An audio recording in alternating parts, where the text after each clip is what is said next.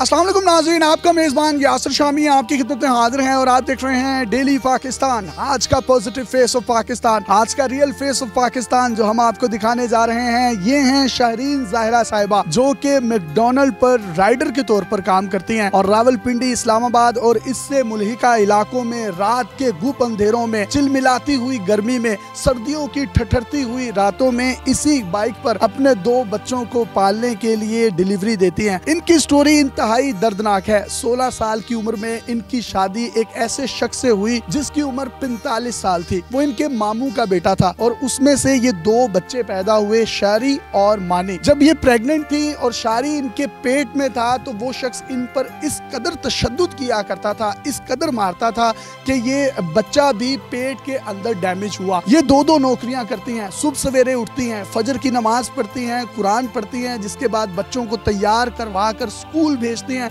और खुद इसी बाइक पर इनको ड्रॉप किया जाता है। नाइन टू फाइव जॉब करती हैं और बच्चों को उस दौरान घर में अकेला छोड़ कर जाती हैं। जो ही शाम के पाँच बजते हैं तो बाइक निकालती हैं, फिर होम डिलीवरी मैकडोनल्ड के प्लेटफॉर्म से लोगों के घरों में मुहैया करने चली जाती हैं। मैं मैकडोनल्ड को भी खराज तहसीन पेश करता हूँ, जिसने विमेन एम्पावरमेंट पर इन जैसी खातून को अपनी कंपनी में हायर किया और यही पाकिस्तान का पॉजिटिव और रियल फेस है। ये जो बच्चा है बड़ा, इसकी उम्र तीन साल थी और ये जो छोटा बच्चा है, इसकी उम्र डेढ़ साल थी। तीन साल का बच्चा अपने छोटे भाई को, जिसकी उम्र डेढ़ साल है, खुद ही घर में फीडर पिलाता रहा, खुद ही उसको सुलाता रहा। अगर रोता था तो खुद ही उसको चुप करवाता था कि माँ जो है, हमारे लिए कमाने के लिए निकली हुई है।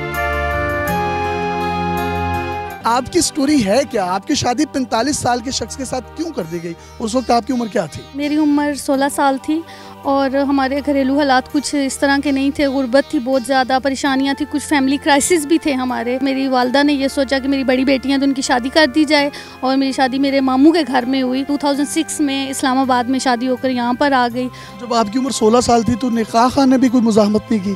नहीं पहली दफ़ा तो हमारा मौलवी भाग गया था निकाह पढ़ाने से उसने इनकार कर दिया लाहौल वाला कुत कह के। दूसरे दिन फिर मौलवी को बुलाया गया तो मेरी एज 21 ईयर लिखवाई गई निकाह नामे के ऊपर। जबकि असल उम्र आपकी 16 साल थी। बिल्कुल मेरी असल उम्र 16 साल थी। छोड़ा क्यों? फिर आपने उसकी रीज़न क्या बने? मैंने कभी भी नहीं छोड़ना था। मुझे अपनी माँ की और अपने ख़ानदान की इज़्ज़त बहुत अज़ीज़ है। मैंने अपनी कुर्बानियाँ दी हैं। जहाँ तक मैंने, जब तक मेरे बच्चे नहीं हुए, मैंने बहुत गुर्बत भी काटी है। मारें भी खाई हैं तशद भी लिया लेकिन जब मेरे बच्चे आ गए इस दुनिया में तो मैंने इनके लिए स्टैंड लिया है। तशद किस किस्म का वो करता था, किस हद तक करता था? बहुत ज़्यादा एजिड थे, काम वो टैक्सी ड्राइवर थे, काम करने में शायद वो बीमार भी हो गए, दिल नहीं करता था। माली हालात इस तरह के थे कि घर में लड़ाइयाँ झगड़े होते थे और मुझे कोसा जाता था कि तुम्हारे नसीब में कुछ नहीं है, तुम्हारी वजह से ये सारा कुछ हो रहा है। माँ बाप नहीं पूछते थे कि बस छोड़ दो फिर अगर वो ठीक नहीं निकला तो। वो कहती थी बेटा इज़्ज़त के नाम पे मर जाओगे हमारे लिए फखर है। आपने अब यहीं रहना है। मरो जियो जो भी करना है आपने इसी के साथ रहना है। लाश ही आनी चाहिए वहाँ से। बिल्कुल इसी तरह है कि आप मर भी जाएँगी तो कोई बात नहीं।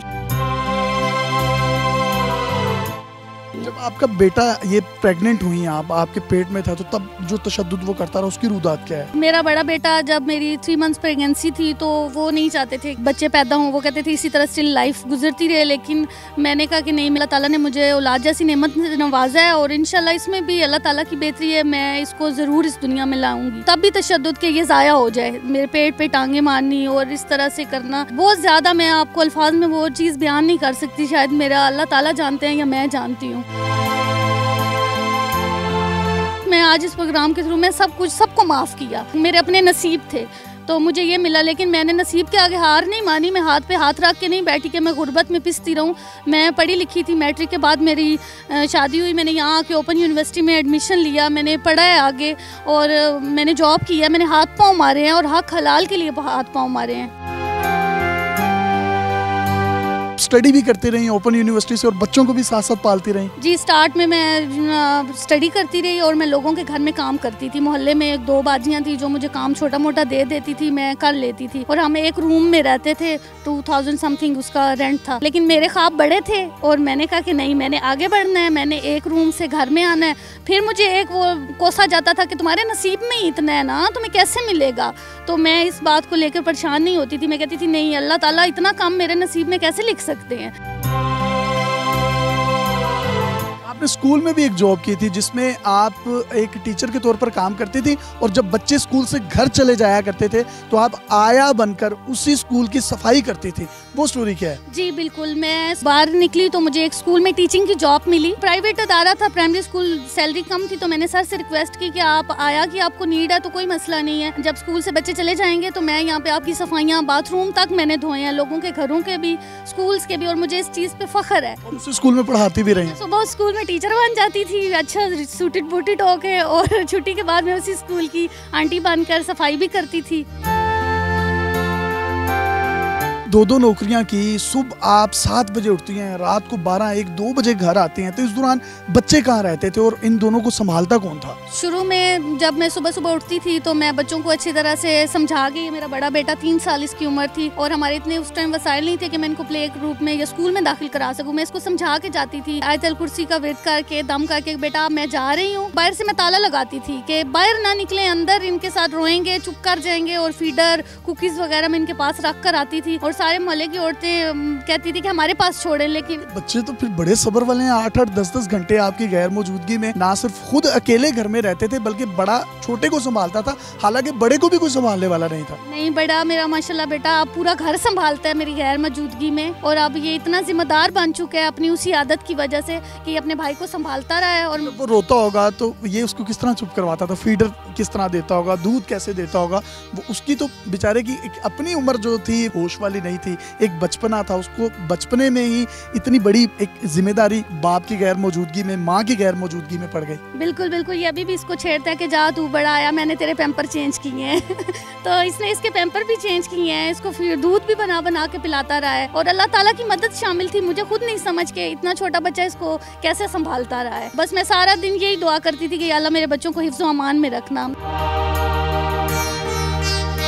दो दो नौकरियाँ करती थी, घर से बाहर रहती थी तो बच्चों को मिलने के लिए कोई रास्ता अपनाती थी कोई बीच में वक्फे में कि इसको कोई भूख लगी है, इसको कोई खाना देना है, या ज़रिए माश में ही आप इतनी फंसी हुई थी कि इनका सोचा ही नहीं गया? मेरे पे अल्लाह ताला की ब्लेसिंग है कि मैंने जहाँ भी जॉब किया, मुझे स्टाफ बहुत अच्छा मिला है, वो मेरे साथ भरपूर तामुन करते थे और मैं दरमियान दरमियान से आके जब मुझे ब्रेक होती थी और अपना खाना मैं छोड़ देती थी, मैं कहती, खैर है, मैं अपने बच्चों को खाना खिला दूँ और अभी तक स्टिल ऐसे है। जॉब के लिए जाना होता है दूसरी जॉब पे तो मैं अपना खाना छोड़ देती हूँ, मैं कहती हूँ, ये खा लें, इनका लंच बन जाए। फिर ये बाइक कहाँ से ली? इसको कैसे खरीदा? और इसको चलाना कैसे सीखा? और फिर ये मैकडोनल्ड की राइड पर कैसे आए? कितने कितने किलोमीटर पैदल चलती थी जब मेरे पास पैसे नहीं होते थे? फिर मैं लोगों को देखती थी कि इतने बुज़ुर्ग बुज़ुर्ग बाइक चला रहे हैं और हर बंदा बाइक चला रहा है। तो मुझे भी ये हुआ कि मैं बाइक चलाना सीखूँ। ये जो मैं टैक्सी का वेट करती हूँ स्टॉपों पे खड़ी होती हूँ पूरी नज़रें हैं कोई इधर से आ रहा है लिफ्ट के लिए कोई कुछ उससे बेहतर है मैं बाइक चलाना सीख। जवान है माशाल्लाह आप चाहती तो दूसरी शादी भी कर सकती थी। दूसरी शादी क्यों नहीं की? नहीं मेरे बच्चे अभी तक मुझे कोई ऐसा इंसान नहीं मिला कि मैं सोचूं जो मेरे बच्चों को रियल बाप की कमी दे और मैं नहीं चाहती कि मेरे बच्चे निगलेक्ट हों। इनका प्यार जो मैं इनको दे रही हूँ मैं ऐसे इंसान को प्रेफर करूँगी जो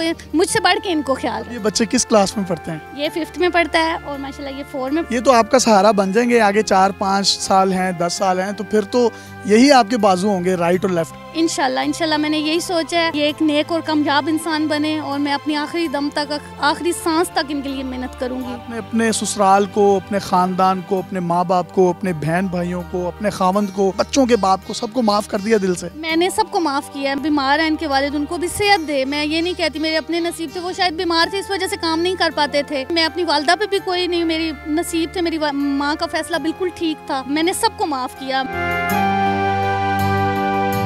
इन्होंने ज़िंदगी की क्या तलखियाँ देखी हैं, क्या लोगों के तलख रवैये देखे हैं, लहजों की दश्त देखी है, अपनों के रवैये देखे अपनी माँ का, अपने भाइयों का, अपनी बहनों का अपने खामंद का, इन बच्चों के बाप का, लेकिन उसके बावजूद शुक्रगुजारी की जो कैफियत नज़र आ रही है इनके चेहरे पर, और ये मुतमिन नज़र आ रही हैं, ज़िंदगी से मुतमिन है। कहना यही है कि मैंने सबको माफ़ कर दिया, मुझे किसी से कोई गिला नहीं, किसी से कोई शिकवा नहीं। इस तरह की साबिर शाकिर माएँ पाकिस्तान का निखरा हुआ चेहरा है, और इस तरह की साबिर शाकिर माओं की कोख से, इस तरह के मासूम कलियाँ बच्चे जब जन्म लेते हैं, और जब वो जवानी में फूल बनते हैं तो वो अपने माँ बाप का, इस माशरे का, और इस पाकिस्तान का का जो एक पॉजिटिव फेस है, वो भी पूरी दुनिया को दिखाते हैं। आपको कोई आखिर में गिला शिकवा है मुआरे से, सोसाइटी से, लोगों से, आप बाहर निकलती हैं, लोग आपको ताने भी देते होंगे हकारत की नज़र से भी देखते होंगे तो उनको आप पैगाम भी दे सकती हैं और शिकवा भी कर सकती हैं। मैं पैगाम ये देना चाहती हूँ कि जो लोग, लड़कियों को, औरतों को बाइक पे देख बुरे ख्याल रखते हैं, देखे खुदारा, आप दूसरों को जज करना छोड़ दें। जज करने वाली ज़ात ऊपर बैठी है, वो जज करेगी हमें। हम एक दूसरे को जज करने वाले कोई नहीं है। मैं घर से निकलती हूँ, लोग बहुत गुमान करते हैं तो सुबह से बाइक पे निकलती है, आवाज़ आजाशियाँ करके वापस आ जाती है। दिलों के हाल अल्लाह जानता है कि हम कितनी अजाशियाँ करते हैं। मैंने भूखे भी बर्दाश्त की हैं, मैंने मेहनत की है। मैं कहती हूँ, नहीं, मेरे बेटों का आगे फ्यूचर ब्राइट होना चाहिए, मैं बर्दाश्त कर लूँगी। मेरी ज़िंदगी ख़त्म हो गई उस वक्त जब मेरे बच्चे दुनिया में आए अब मैं इनकी खातर जी रही हूँ। आखिर में शुक्रगुजार हूँ अपने उन इदारों की specially McDonald Islamabad F nine park की, जिन्होंने मुझे इतनी रिस्पेक्ट दी है, मुझे हायर दिया है। मैं इतने सारे मर्दों के साथ काम राइडर सब मेरे बहुत रिस्पेक्ट करते हैं मैनेजर से लेकर टीम तक सब लोग मुझे बहुत रिलैक्स माहौल में काम करने का मौका मिला। जी मैकडोनल्ड जो है, वो भी खराज तहसीन का मुस्तक है और ये जो बाइक है ये भी इन्होंने कमेटियाँ डाल कर ली है। इसकी अभी भी इंस्टॉलमेंट जाती है, ये इनकी अपनी बाइक नहीं है और इसके साथ साथ जो बच्चों की तालीम है, उसका भी बेड़ा उठाए हुए हैं दो दो नौकरियाँ करती हैं। अशार के पर्दों में हैं हम, जिनसे मुखातिब वो जान गए होंगे क्यों नाम लिया जाए। इनका कॉन्टैक्ट नंबर आप अपनी स्क्रीन पर देख सकते हैं। आप में से कोई भी शख्स अगर इनकी माली मुआवनत करना चाहता है, इनको मोटिवेट करना चाहता है, ये बहुत से लोगों के लिए इंस्परेशन है, ये बहुत से लोगों के लिए उम्मीद है, ये बहुत से लोगों के लिए रोशनी का एक दिया है। यही चिराग जलेंगे तो रोशनी होगी। अपने मेज़बान यासर शामी को इजाज़त दीजिए। अगर आपके पास भी कोई हैरत अंगेज स्टोरीज या मुनफरद कॉन्टेंट है तो आप डेली पाकिस्तान पे हमें इनबॉक्स कर सकते हैं। हम आपके इस कॉन्टेंट को पूरी दुनिया में दिखाने के लिए प्लेटफॉर्म मुहैया करेंगे। पाकिस्तान। जिंदाबाद। अल्लाह हाफिज़।